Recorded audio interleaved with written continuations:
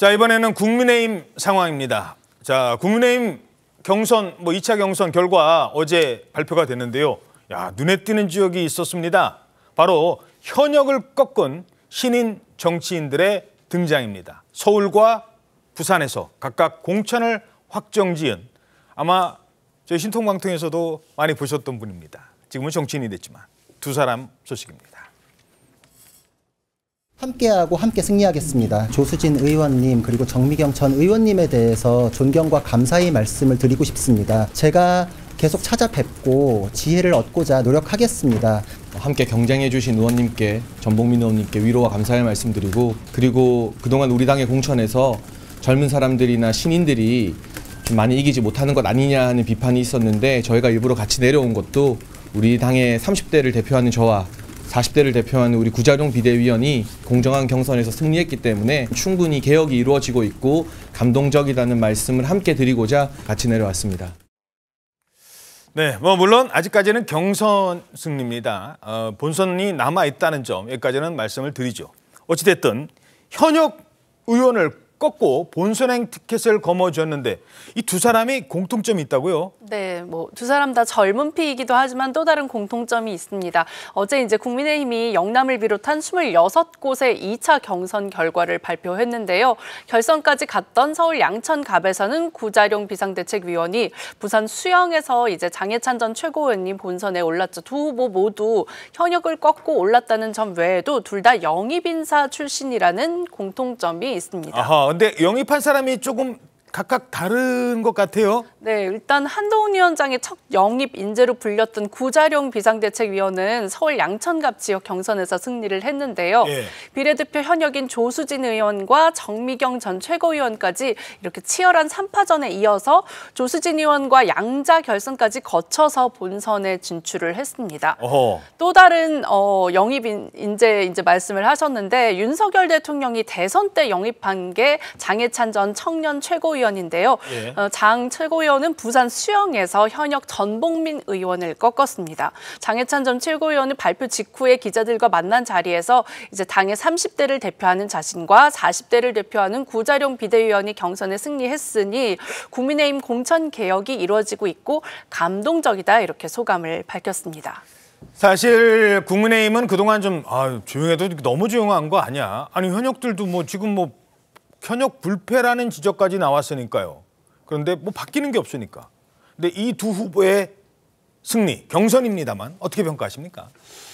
어, 이게 감동이 없다는 말까지 나오고 있죠. 감동이 없다는 말까지 나오는데 그러면은 이렇게 뭐 소란이 있어야지 감동이 있는 것인지 저는 그 부분에 대해서는 그 동의를 잘 안 합니다. 감동이 예. 없다는 부분은 오히려 매끄럽게 잘 되고 있다고 저는 평가를 하는데 이 두 사람이 이번에 물론 본선을 거쳐야 되지만은 이 예선을 통과한 것은 지금 오늘도 아침 신문에 보면은 국민의힘 후보로 확정된 사람들을 놓고 늙은 정당, 꼰대 정당이라는 평가까지 써요 신문에서. 신문에서 꼰대 정당이라는 표현까지 쓰는데 그러면 이 사람들은 30대, 40대니까는 어느 정도 상징적으로 희석을 시켰다. 그렇게 저는 생각을 하는 것이고 현역 불패 그러면은 물갈이를 많이 하는 것이 이기는 공천인가 이 부분도 생각을 해봐야 됩니다. 어제 네 명이 일단 어, 그 탈락을 하고 앞으로 경선 또 내일 좀 또 발표될 사람들이 있어요. 많이 좀 탈락할 가능성도 있는데 영남에서. 그러면은 물갈이를 하면은 이길 수 있나? 그 과거 사례를 보면은 과거 네 번의 총선에서 세 번은 그렇게 했습니다. 예. 세 번은 교체율이 많은 데서 이겼어요. 그런데 2020년에는 지금 미래통합당 국민의힘 계열이 40%를 물갈이를 했거든요. 지난 총선 때 물갈이 많이 예, 했지만 40%대로 물갈이 했습니다. 민주당은 그때 20%대 물갈이를 했어요. 그런데 지난 세 번의 총선과 달리 그, 그 미래통합당이 참패를 했죠. 예. 참패를 했으면은 이거 그 덩식은 지금 그 깨지기 시작을 하는 겁니다. 물갈이 이퀄 승리는 승리는 아니다. 아니게 된 거죠 그때부터. 그리고 그때 그 총, 총선 환경과 지금은 비슷해요. 준연동형 비례대표에서 위성정당 만들고 그렇기 때문에 이, 그 한동훈 비대위원장이 이기는 공천을 계속 강, 강조를 하지 않습니까? 그럼 너무 감동이 있으면 이기는 공천이 또 안 될 수가 있는 그 상황도 고려를 해야 되기 때문에 어, 너무 이것을 감동이 없다 하는 것에 저는 뭐 별로 동의를 안 합니다. 예. 자, 그런가 하면 인류한 혁신위에서 인류한 위원장이 희생을 콕 집어서 요구했던 사람들도 있죠. 그분들도 이 중진들도 경선에서 승리하면서 살아 돌아왔습니다. 제가 당 대표 시절에 거의 상당 부분을 다 완성해서 이미 진행하고 있던 것들이 이번 총선에서 이기기 위한 구도를 짜놓은 것이 지금 매우 요요적절하게 작용하고 있다. 선거 준비는 최소한 2년 전부터 해야 하고 당선의 목적이라면 험지 배치는 음, 성공하기 어렵다. 지난번에도 그랬지 않았느냐. 다만 험지 가는 것 자체가 목적이라면 뭐 할 수도 있는 일인데 에, 승리 목적이라면 선거 코앞에 두고 옮기는 것은 너무 늦은 것이 아닌가 생각한다는 그런 이야기입니다. 김기현 전 대표, 주호영 의원 각각 5선, 6선 고지를 눈앞에 두고 있다고요? 네, 그렇습니다. 어제 이제 경선 결과 각자 지역구에서 이제 다 지금 승리를 했고요. 물론 이제 예선이지만은 그래서 이제 김기현 전 대표 같은 경우에는 울산 남구 그리고 이 지금 주호영 의원 같은 경우에도 대구 수성구 갑에서 음. 각자 지금 5선, 6선에 도전을 하게 됐습니다. 예. 사실 이제 결과를 보면은 그 앞서서도 이제 권성동 의원 같은 경우에도 강원 강릉에 단수 공천이 됐고 이철규 의원도 동해 태백 그쪽에 단수 공천되고 윤한호 의원도 마찬가지로 기존 창원 지역구 지켜서 단수 공천 받았고요. 이렇게 결과 보면은 앞서서 인유한 혁신이가 중진들의 희생 요구하면서 지금 막 아까 김기현 의원 같은 경우에도 뭐 지역구 옮겨라 뭐 그런 요구도 받지 않았습니까? 근데 결과적으로 다 자신의 지역구에서 또 이제 5선, 6선 또 이제 그 이상까지 바라보는 네, 아직은 그런- 아니에요. 뭐. 뭐 봐야 돼요. 네, 그런 지금 위치가 되면서 결국 주류 가 희생해야 된다고 그때 뭐 요구를 많이 했었는데 뭐 친윤계에 싹 빠진 거 아니냐 그런 평가도 나오고 있습니다. 아까 그 그래픽 볼까요? 대구 지역에 또 눈에 띄는 분도 있어요. 전 그 대구시장도 다시 이번에 대구 지역에서 아 이제 뭐 이분들 말고요. 앞에 그 세 분, 예.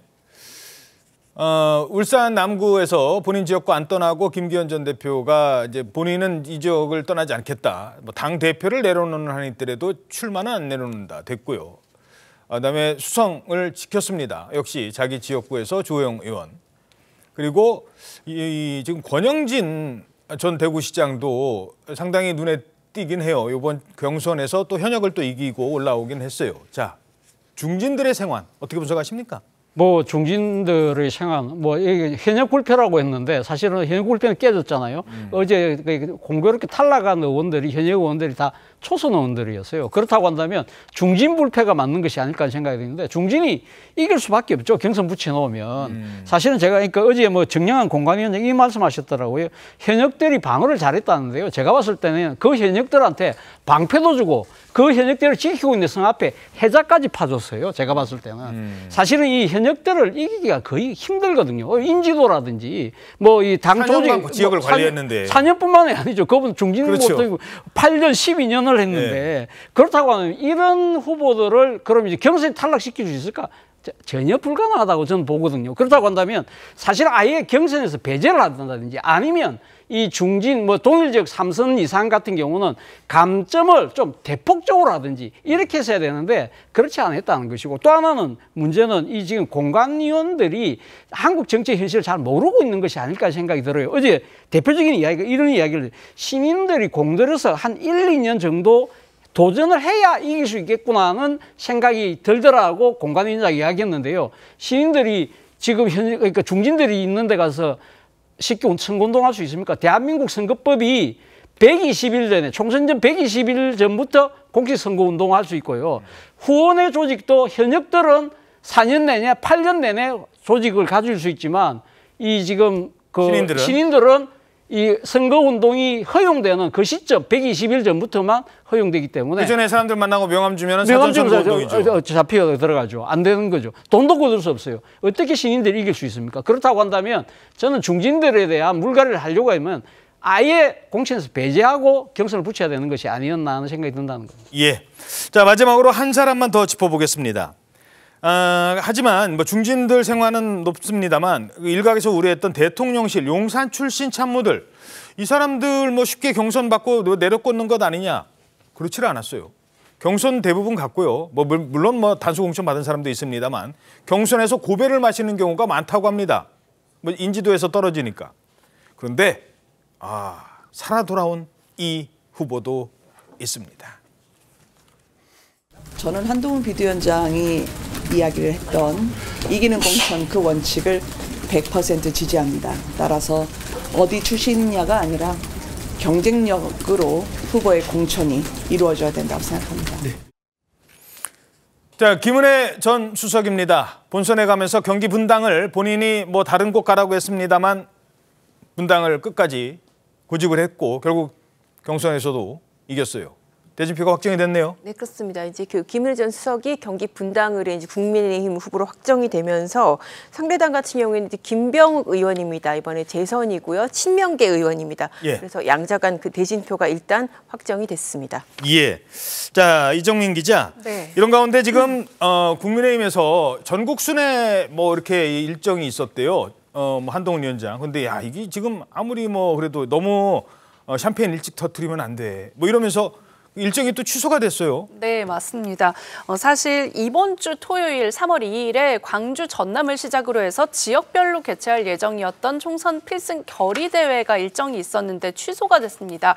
이유를 좀 요약해 보자면 전국을 다 다니는 것보다는 좀 선택과 집중을 또 당원들보다는 일반 시민들을 더 많이 만나기 위한 선택으로 보이는데요. 예. 원래 한동훈 비대위원장과 국민의힘 당 지도부가 호남과 제주, 부산, 또 충청, 강원, 수도권 이렇게 okay 지역들을 찾아서 결의 대회를 할 예정이었는데 예. 이제 공천이 마무리 국면인 만큼 좀 전국을 다니면서 분위기를 띄워보자 이런 취지였던 것 같아요. 예. 그런데 이런 전국 순회 방식 대신에 전략 지역이나 수도권 격전지 등을 좀 선별해서 방문하는 일정을 검토 중인 걸로 전해졌습니다. 일단 급한 데부터 가야 된다 지금. 그렇죠. 그리고 한 위원장이 작년 연말 취임 후에 이 시도당 신년 인사회에 참석해서 전국 순회를 이미 한 차례 마쳤잖아요. 그렇기 때문에 이제 제한된 시간을 좀 더 효율적으로 전략 적으로 쓸 필요가 있다 이렇게 판단한 걸로 보입니다. 국민의힘은 언론 공지를 통해서 당원만을 중심으로 한 필승 결의 대회가 아니라 시민들을 많이 뵐 수 있는 일정으로 검토 중이라고 밝혔습니다. 네, 한정된 시간에 좀 이제 국민들이 직접 다가가자 이런 한 위원장의 의견이 따른 것이라고 설명했습니다. 예, 낮은 자세로 가겠다. 일단 우리가 지금 당장 급한데 지금 상대 후보와 격전이 예상되는 대로 가지 전국을 돌면서 마치 지금 뭐 다 이긴 것처럼 그런 분위기는 만들지 말자. 조심하자. 150석 누가 그런 얘기를 해요? 일단 조심하세요. 160석 누가 그런 얘기를 해요? 그런 얘- 그런 분위기가 국민의힘에서는 감지되고 있다는 겁니다.